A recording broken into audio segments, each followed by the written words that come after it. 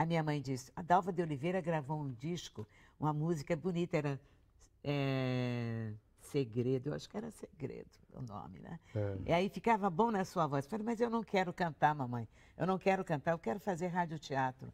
Quero fazer radioteatro. Descobri que a Rádio Mauá, no sétimo andar, tinha um programa em busca de talentos. Hum. Eu falei, vou me inscrever. Eu canto a arte elástica